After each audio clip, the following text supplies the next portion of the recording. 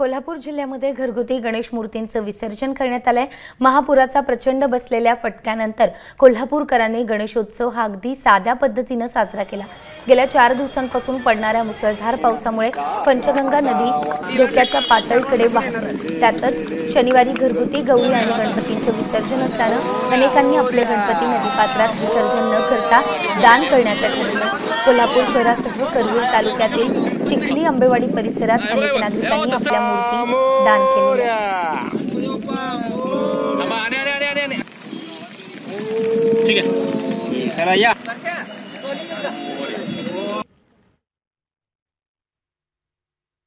गेल्या पंधरा दिवसामध्ये पर्याय केली. प्रचंड महापूर आला त्या महापूर येऊन गेलं जरा ग- गावात लोकांनी साजरा केला. आज जरी झोपलं तरी गा गावाच्या तोंडापुढे महापूर आज दिसतो.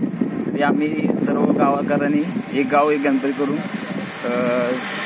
नवीन उपकरण लढवलं लढवलं आहे. आणि आम्ही यावेळी गणपती आज विसर्जन